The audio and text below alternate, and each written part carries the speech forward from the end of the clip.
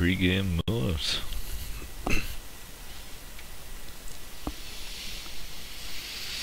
So we're back here with uh, game two between uh, Happy Men uh, and Auspicious Team. Uh, Happy Men managing to pull out the the win last game, uh, putting them ahead in this series so far. But with the best of two, it's still all to play for. Uh, as a draw could come out. I'm a Digital Unicorn. And I'm Designer's Head, and that faceless void was badass. Yeah. he was very, very, very, very fat. He was indeed, even even though he got caught a lot, like Yeah. a lot.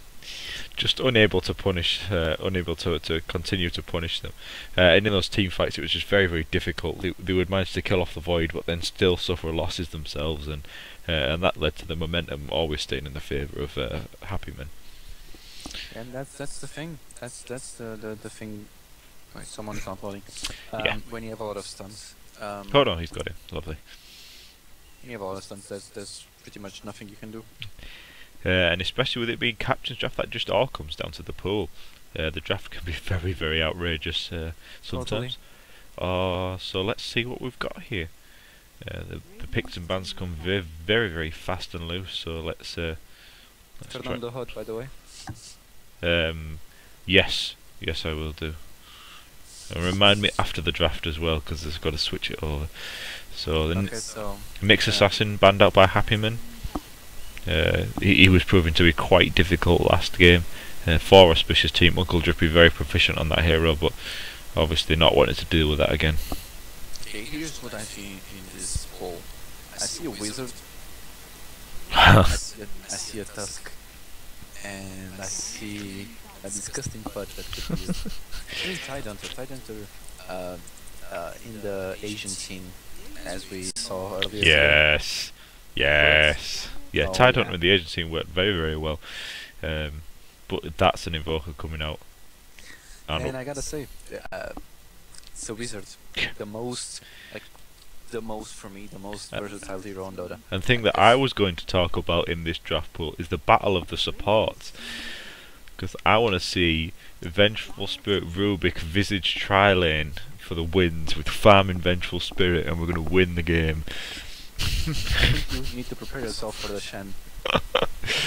It could be coming out, you're quite right. Um, it's going to be. From Happy Man. Yeah, yeah. Because they have a, like a, a pushing strat going on. Yeah. Like you have Invoker, you have Lycan. If I make, I think they might be able to pull it off. Either that or uh, an Enigma. Enigma would have been great because if you can grab a good black hole Hmm. with Invoker on your team, Yeah. and you can tr- just toss a meatball in there. Oh, into into the Disruptor Cloud at the same time. That's a lot of team fight. Meanwhile, there's a crazy wolf going around touching people's bodies. Oh, and in the game that that never was the game, the game that was lost uh, due to due to some errors on my part, uh, the Lycan with the level one rush came up. Yeah. We got to see that. Uh, auspicious team just going out for some for some really really s- solid solid solid solid is the word we use. Oh, Design yeah. solid, Solid, solid. That's it. Sorry. My not cra- is not crazy heroes uh, with the Dragon Knight and the Juggernaut. Um, they've got a nice little nice little support duo there. We could see dual lanes, uh, perhaps a Dragon Knight mid. Here's, here's what I think about Dragon Knight. Dragon Knight mid is such a solid hero. It's true. He's a really solid hero. He goes into mid. He probably will not fail because his damage is okay. Uh, he can grab a bottle, have some regen, and if the, the, the opponent gets out of the mid lane, he gets to grab the tower with his ultimate. Mhm. Done. But he's the most boring hero in the world. Speaking of not the most boring hero in the world, Centaur War Runner picked up by Happy Man. This is going to be fun. Tracking that I- movement speed with the camera, that's going to be brilliant. I want I want to have I want this draft to have my babies. This is all I'm gonna say. So much team fight and Centaur War Runner. Because this could be like Invoker mid Lycan and Disruptor dual lane, Enigma on the jungle and Centaur War Runner on the offlane. Because it's little legit. Ice Ice Ice has been playing it a lot. Yeah. And I don't know.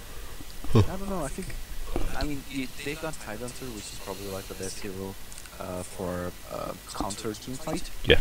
Still, Just it, when Centaur and Enigma both get level six, Enigma doesn't even need a blink. Just charge straight in.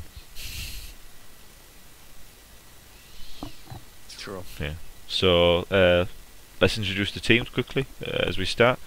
Uh, and you forgot to remind me to go into match mode, but I'm going to do it myself. Oh boy, good morning. Sorry. And uh, for Happy Men on the Radiant side, we've got standing uh, on the off lane Centaur Warrun. It, uh, it looks like JT uh, on the mid Invoker, Catadea on the jungle, Enigma looking to deny uh, one of the first creeps on the mid, uh, Doctor August uh, on the uh, Disruptor uh, safe lane support, uh, and Jack uh, on the safe lane farming Lycan. Okay. Uh, for our dire side, On the dire side, on the off-lane Tidehunter, we see Uncle Drapery. I, I'm so good at English names. Uh, we see a drunk bear going for the boring, uh, sorry, Dragon Knight hero on the on the on the mid, um, and we see some. uh, early aggression coming out, but um, just looking at each other funny. You're just looking at each other and just be like, huh. we see you, and we also see uh, on the Vengeful Spirit, Tuggles, um, and LV on the Rubik, and on the carry uh, Juggernaut we see Rainfire. Rain and fire, yeah, yeah. Uh, going for the aggressive trilane.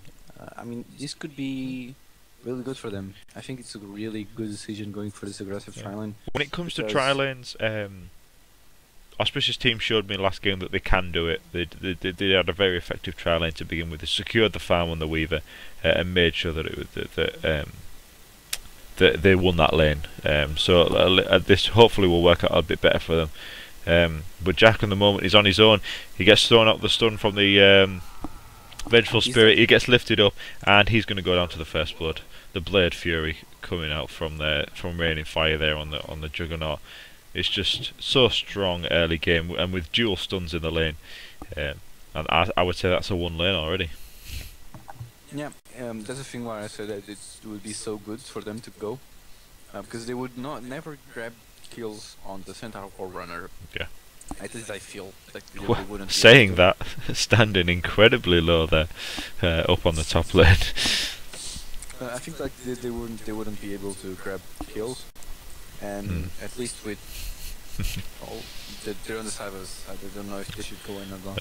Um, at least this way they can grab kills um, because the dual lane is not that strong. I mean, Yeah. you have a, you have a lot of harass coming from Disruptor, uh, but Yeah. I don't know. Lycan Yeah. is a little bit Yeah. piece of paper. Yeah, the that's the issue that I found with Lycan is early game. He's That's like that. The reason that he jungles is because that he he, he can't take any harassment in lane. Uh, Enigma's had a lot of his uh, had the safe lane camp blocked, uh, and now he's struggling against uh, the the Wildwing Ripper, which I know is a personal hated any of enemy of mine when it comes to jungle Enigma. And some lovely, lovely mud golems coming out for him in the uh, in the other medium camp. There, he's going to have to head over towards the mid. Uh, speaking of mid, Yeah, I was just looking at mid and I was thinking, huh, must be really boring playing this Dragon Knight. Because, like, um, you can uh, harass um, Invoker Magus because of his range, Yeah. and you'll get harassed because of the Exort. Yeah. Because Uh, he went Exort. yeah. And he went, okay, it's a good decision going Exort in this game. I don't think Quas Wex would ever good, at least. And Jack Not is getting absolutely nothing from this lane. Uh, auspicious team perhaps learning from last game that if they give Jack free farm that he, he tends to do things. Um, but yeah, he's just having to cut through the trees there to get into experience range with his quelling blade. Uh, but it's not going to be enough. The lane control coming out from uh, from uh, auspicious team is, is quite strong. And this Tidehunter, I don't know, I, think I need to see what he's doing because he's just continuously putting, putting uh, the Centaur Warrunner low. Yeah. I don't know Um, what's happening there, but it's the, and it's a battle of the passives. Damage return so. against uh, Kraken Shell. I think so. Um, but yeah, I'm very. c- I'm, I'm, think it's going to be a lot of action. Yeah. But I think that uh, Team Auspicious made sure that that wouldn't be too much. Yeah. Because they don't want things to stop going their way. Yeah. Dragon Knight's filled his bottle uh, and drunk, drunk, it, drunk it up and then sent it back. But JT's just got the f- three quads. He's going to regen quickly up from that fire breath. And, uh, oh, aggression going in. Rain of fire there. Caught up by the static storm. Uh, he's going to take some harassment damage. Uh, and the wolves are popped and they're just going to have to jungle. It's it's hard. LV though, caught out. He's laying down a sentry ward. The wolves are on him. The static field comes out, but he manages to just escape out of the range of it. Scatterday Don't. coming in with a stun. He's going to go down if he's not careful. Jack lifted, caught out, and down. Why would you go? Yeah. Like I literally can't find a reason why you would should go against that trilane. And Once again, it's just the uh, the blinkers on. The kill, the, the bloodlust comes up. Look, that Rubik was so low, man. That Rubik was so low. Nah, that's, that's tunnel vision, man. That's tunnel vision. Stop having tunnel vision. Uh, I just I don't understand really because the Enigma had like no mana. Oh, Um, so Centaur Warrunner is having a terrible time, so they're gonna send up the send up the Lycan to try and face off against this Tide Hunter, who's just gonna walk up to Jack and hit him. And I think it, it, no, I think it should work better. Yeah. Really, if you ask me, because uh, Jack has a, like uh, high damage. Yeah. So he's gonna last it really easily. He's gonna deny easily against Tidehunter. And Tidehunter can only like anchor smash Mm. from time to time.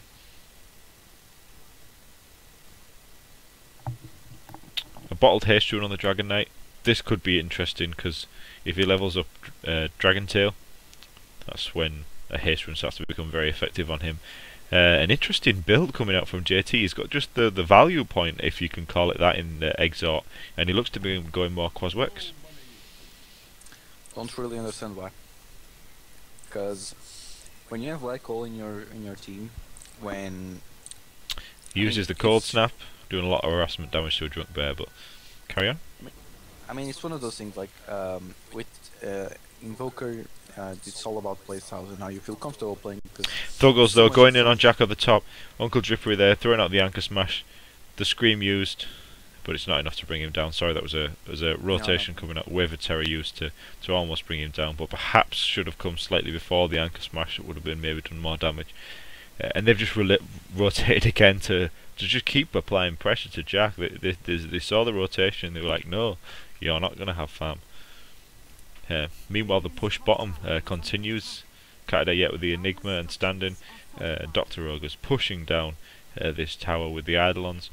Um, uh, not much defense coming out from uh, Auspicious team. Rain and Fire just content, content to continue last hitting. He's finished up his phase boots and he's got f- uh, 500 gold in the bank. What do you build as a as a juggernaut this game? Standard Battle Fury? uh, I, I don't think you, sh- you should go for Battle Fury because you have so much early game. I think you should go for some kind of early game damage item. Even like uh, a Sange and Yasha wouldn't be bad at this point. Yeah. Uh, I don't know. Uh, Desolator is always cool. You can go crits if you want. Like crits at this point is so so so cheap. Like, I don't know. Yeah, I, I, I'm not I'm not too much of a Juggernaut player, so I can't say too much. Juggernaut for me is like Chinese. I don't I don't really understand it. Aghanim's. Aghanim's. That's all you got to build. Uh, the push is going to continue on the top lane. This tower pro- probably going to fall uh, this time round. The glyph. Here's what, you, here's what you build on Juggernaut. You build Mask of Madness and you build Iron Iron Scepter. Uh, and after that tower falls, the support is uh, rotations are going to come. Doctor Ogre's lifted up, brought back in downing, but the static field perhaps might last long enough. He's taken a lot of tower hits, and the fade bolt uh, has left him quite low. Um, standing though, going into the trees, is this a mistake, or is LV being very, very aggressive here? He's very far forward. His entire his team is not within the static field, thrown out to just prevent any uh, following. And Jack's just had to go into the jungle. Did you know that if you build a, a Mask of Madness and if you click Mask of Madness b- before you ult it, you get extra, um, uh, extra, you know, right clicks. Yeah, standing lifted up by LV, uh, and Rain of Fire throwing out the blade for and chasing down standing, but the damage return's doing enough, en- enough. Uh, but the rotation coming in from Thuggles and Uncle Drippery, all that armor reduction and stun, it's, it's going to be enough to bring him down, and no support coming out from the, the from the, uh, the Happy Men heroes there that could have easily moved in to, to perhaps save him, or even just let him know that that rotation was coming. I think this Disruptor was a bad pick. I think that Disruptor like doesn't have a lot of playing presence. aside from the, the casual harass. This with, uh, yeah. this draft is almost the the opposite of the last draft, which was full of lockdown. This is almost barren of lockdown. Yeah. It's one of the- I think it's Uh. one of those. Okay. Okay, JT, that is an horrible name. EMP, like horrible. Like you couldn't go more horrible than that. Sorry. I, I think he was hoping that the Malefice coming out from the Enigma would uh, would slow him down a bit, but that Blade Fury man, Magic Immunity OP apparently. I've I've, I've I've had people tell me that it actually wins uh, games. Magic immunity. It's weird. Uh, But that's a double damage on Dragon Knight. He's just gonna try to push the tower. And here's the thing about Dragon Knight. He just goes to a tower with his ultimate and punches it. but the rotation, the rotations coming out uh, from the Enigma and the uh, uh, the Invoker should be enough to to prevent this push. Is that tower within the tower's within deny range? So I imagine they're gonna they're gonna deny that now, or they're just gonna walk off and let Dragon Knight stand back up into the high ground and take it. Oh, Dragon Knight.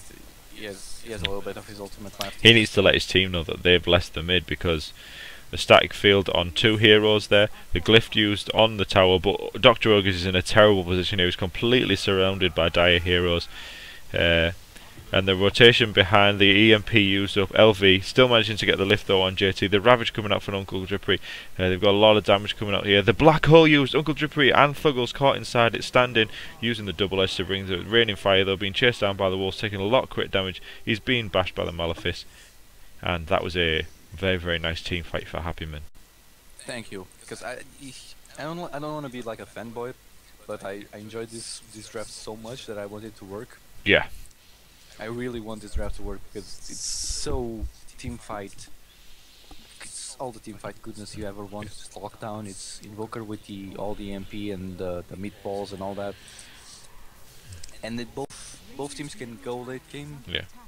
but they can both play early game really well. So Dragon Knight bringing down the tower on the mid. And I think the key for that fight was um, Happy Man finally um, had a fight on their own terms. They let Auspicious Team push and they got the wrap around on them uh, and managed to, to get off all their abilities um, uh, and just make sure that um, make sure that the fight went the way that they wanted. Up until now, they've they've been fighting in these positions that just just don't feel strong.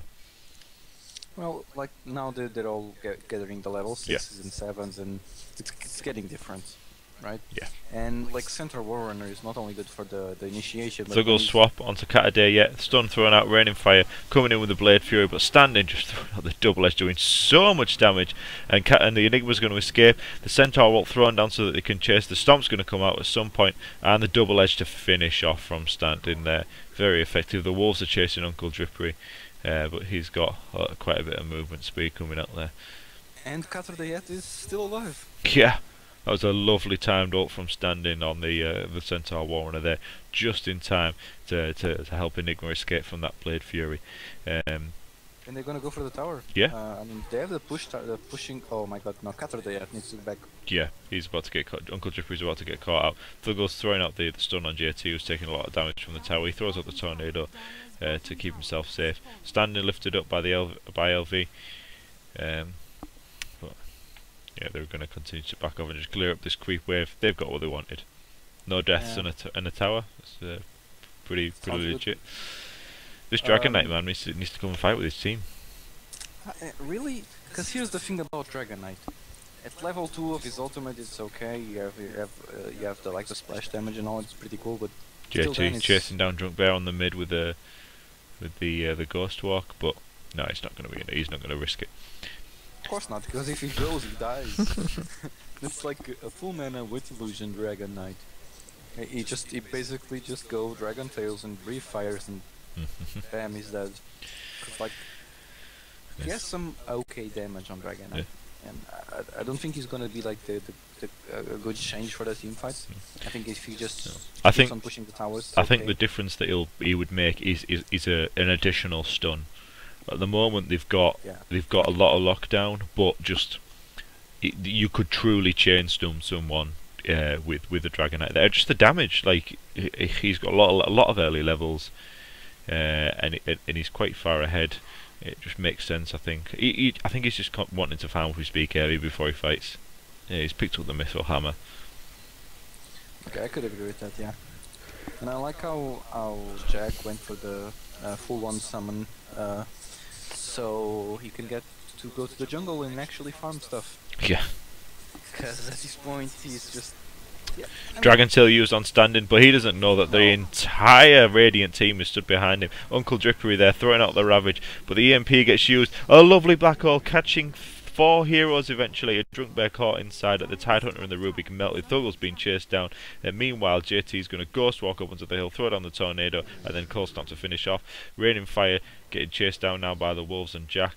Uh, the Metamorphosis runs out, uh, and they're not going to have the speed to catch up to him, but uh, they're, they're going to have the damage to take this mid tower. and Just another laugh, lovely black hole coming out from Katadir. Yeah, and imagine if um, he actually had um, served those ultimates there, and if Tidehunter hadn't ulted. Because if Tidehunter hadn't ulted, that's why Tidehunter is so good against his lineup, Hmm.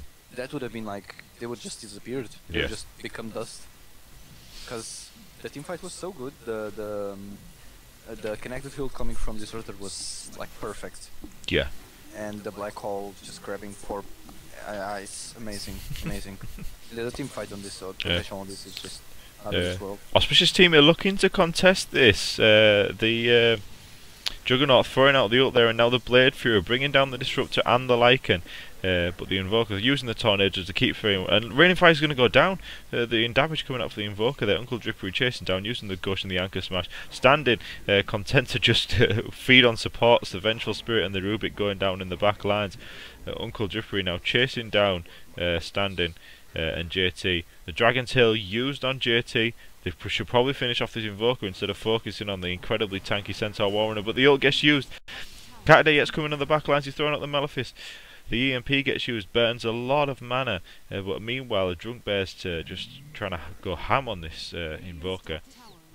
And he's gonna escape because he's a wax. He's a almost full wax invoker, and he can just run. Was that another fight without a, a death from Happyman? What? Sorry. Was that another fight without a death from Hap? With who died on Happy? No, Lycan Disruptor died, didn't they? That's who. Mhm. Yeah, but that's uh, Yeah, that's. Oh, that's, Caddy that's almost getting brought down by the breathe fire. He was uh, a little too bold there with his uh, soul ring in the middle of the river. That's not great, but still, like the only people, the only person that survived was. Oh, no, Jack. Uh, He- Dragon Knight, right? They're swapped out by the vengeful spirit. He's lifted up by the Rubik. What was he doing there? The Blade Fury to finish off from Raining Fire. That's an easy kill for Auspicious Team. That's just feeding, man. And I think it's gonna be an easy rush. Yeah. Because now they have Dragon Knight's ultimate, and they can just go in there and touch, touch them. And those wolves are going to run out long That before the Aegis One of pops the up. biggest throws he could have done there. Yeah. Like if he- could have just went with his team, you would have. They they almost have their ultimates up, uh, except for the the black hole. Yeah. Happy man little bit. moving over here, but I think it's a mistake to try and contest it. The kinetic field thrown out, catching three. And then the st- the static storm coming out. EMP Ouch. doing a ton of damage to No Raining Fire. Standing, blinking in. He's doing a uh, finishes off uh, Raining Fire with the uh, double edge. Oh, lovely blink stomp from standing, doing so much damage to three heroes bunched up. A drunk bear taking a billion damage from uh, the invoker, and they're just chasing him down now. Raining fire silenced up, blink from standing, and just that's a that's Okay. a team wipe. full on beautiful because just that that that um, that uh, EMP was beautiful, was perfect. Everyone was out of mana, uh, was very well positioned. The kinetic field initiation Was- seemed like it was it was a little bit of a rush, but it actually worked pretty well. Caught out three heroes, and then the, the, the silence cloud coming down to to Yeah, it just forced the initiation yeah. uh, yeah, perfect. that. So that's an Aegis and a team wipe. Got for for the cost of a disruptor there, which is which is more than acceptable. I feel. Here's the power of a team that actually um, plays very well with the, with themselves and, Yeah. uh, and actually having a like a great draft. Yeah. Because uh, playing in capsule draft needs needs some um, Flexibility. a- some good team because um, they, they, you need some creativity. You need to see what what you have. Yeah. You see of your opportunities and. Uh, You're relying on the can do. players more than the, uh, the the heroes, if you if you know what I mean. Yeah, that's true. Um, and I don't know who's making drafts, so they're all, they're all making the same drafts with each other. But uh, the, the the idea of actually grabbing the, the summons and trying to push Mm. while having a great team fight was Yeah. So, great idea. Very, very good. Uh, and hopefully this is what we're going to continue to see uh, throughout this tournament. Is oh no, the Radiant Core is going to go straight past the smoked die